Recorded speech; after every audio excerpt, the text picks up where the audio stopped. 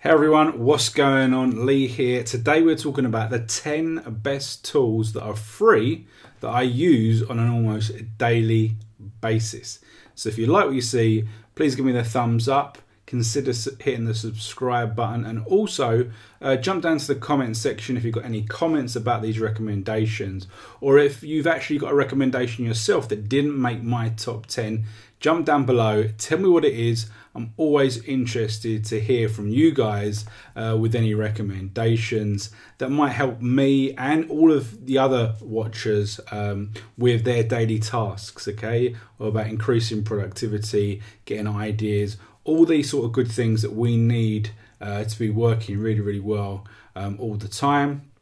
So, as I say, we're talking about um, the top 10, and I'm going to flick through the 10 in this video. I'm not going to be doing a tutorial of those uh, tools, I'm just basically going to be flicking through them, uh, giving you uh, some of my uh, brief thoughts on them and moving along. Now, uh, there are some videos already on the channel that discuss some of these tools and I will be creating some more videos uh, to talk you through how to use some of these other tools, okay? So let's get straight to the top 10. So the first tool is actually Canva. Now I talk about Canva a lot because it's so newbie friendly. It's a free cloud-based um, website that you can log in and you can create graphics. You log in, it's uh, very easy to use. You just choose what type of graphic you want to create, whether it's a YouTube thumbnail, an ebook, a social media post. You can see there's all these different things, and you can just drag and drop images and graphics to create basically anything you need, and then you can export it and use it where you want. So as I say, that is one of the best tools on the web today, without a without a shadow of a doubt. So the next thing is Evernote. Evernote is multi-purpose because it's um, on the browser. There's a uh, browser plugin, and there's also um, a download. There's a downloadable app for both your computer and also your mobile devices. Okay, so Evernote is effectively it's an, an organizational tool for notes. So you could use it as a word processor without all of the um, bells and whistles.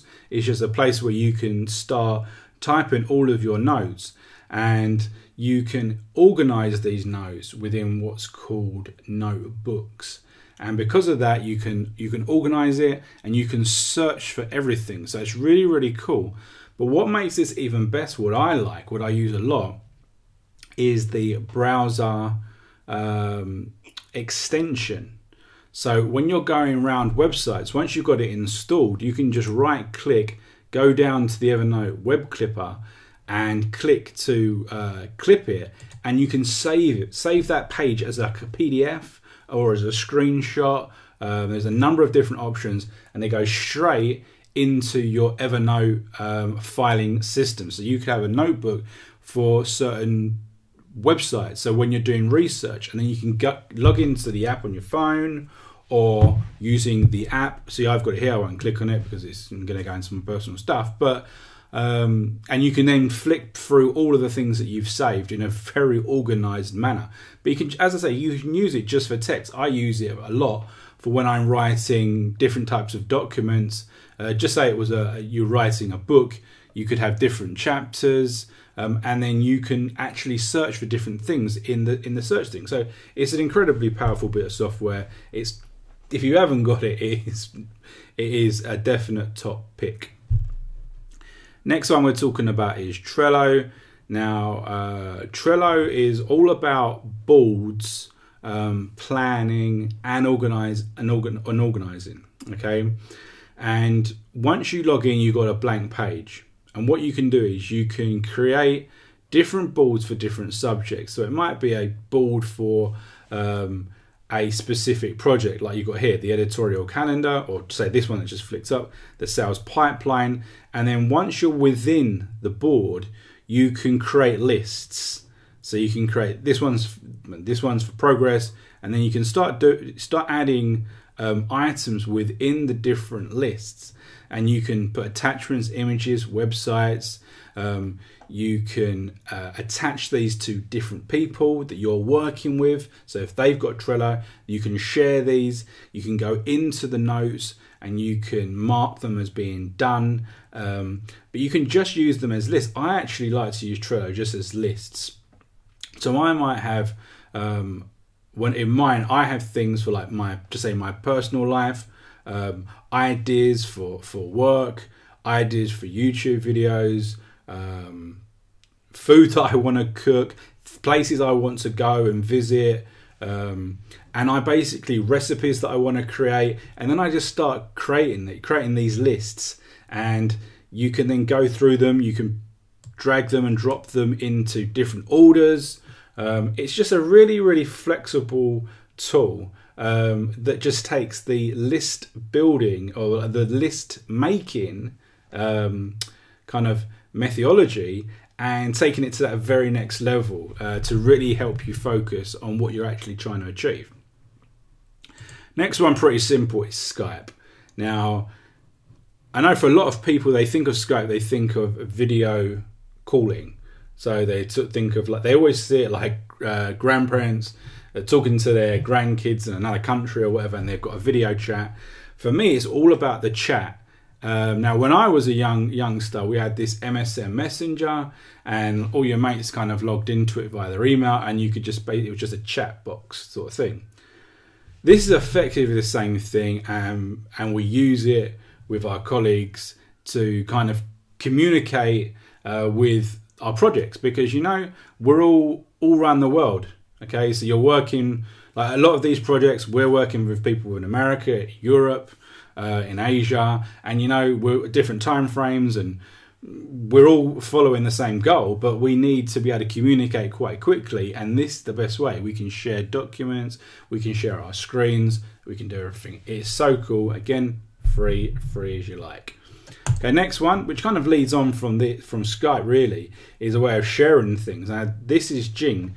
Now, with Jing, what you can do is you can create screenshots in terms of images and videos and then share them. Now for me I've got it I've got it installed onto my on my Mac here and I just click on I just click on the icon there, click on capture and then I can choose part of the screen that I want to uh, capture, whether that's an image, and I can choose the image here or the video, and it will record five minutes worth of video, and then it will upload it to the Jing website and then it will give me a link that I can just share to someone. So if I'm creating a quick tutorial or I'm trying to explain to someone something that I was trying to achieve or an idea, I can quickly create that video, share it with a colleague, and they can watch what I was trying to do without us having to share screens and do it natural um, at the time. Okay, so that's again another really really cool uh, cool tool. Next one, we're talking about Dropbox. Most people know about Dropbox. It's basically what a lot of people initially thought of as the cloud. It was a place to store uh, your files um, online and share them with someone else. So you might have something that's maybe slightly bigger than um, an image or an email or whatever. You can put it on here and then you can share it with people, but also you can create a link and then share that link with loads of people so loads of people can download it from your Dropbox. So it's a little, it's a drive that you can share things. You've got the same thing with Google Drive, does a similar sort of thing um, as Dropbox as well.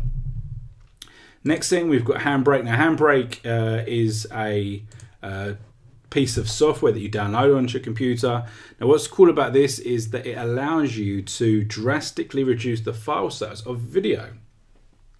So we know that a lot of time we're creating videos online um, we're trying to create them in HD, and we could end up with gigs and gigs of video. Gigs, the file size can be a gig, and you're like, this is insane to try and upload to YouTube or whatever. We can go into Handbrake. We can check a few of the settings, just say like the uh, video quality, bang that down a few notches, and it will drastically reduce the file size without uh, making a noticeable difference on the actual video quality because when a video is encoded there's so many things that go on uh, to create that that code that some of them aren't as important as others. Okay so we can do things to reduce them uh, resave it and then upload it. Okay, so I know when I've had videos that have been like nearly a gig and I've got them down to about 100 megabytes, which is that's 90% reduction in the file size. So when I try and upload it, it uploads quicker, it processes quicker, gets and it gets to people uh, a lot, lot quicker. Next thing, move, keeping with the the uh, the video theme, uh, we've got a plugin called vidIQ. Um, it's a really really cool plugin, and what it does is it puts an overlay on when you're when you're accessing YouTube. You get this little uh, overlay here in the right hand corner next to the video. It gives you so many stats about how it's been shared. Um, sort of ad revenue that may have been populated. A lot of cool little stats there that can help you find keywords for your videos, see what's actually ranking, um, and help you rank your own videos. Okay. So we move on to the last two now, quickly. Google right? And I'm not just saying Google, but Google have some amazing apps, and it's like they've got the collection. I spoke about just a minute ago about Google Drive, which is effectively like a Dropbox, but they've got so many things that are more than like your calendar and your Gmail. Um, and your drive you've got the docs the sheets the forms the slides so you it's basically like microsoft word back in the day um, you've got them for free and not only are they for free, but they're in the cloud. They're connected to your Gmail account. So I can start writing a document all nicely formatted with pictures and however it would have been on a word processor.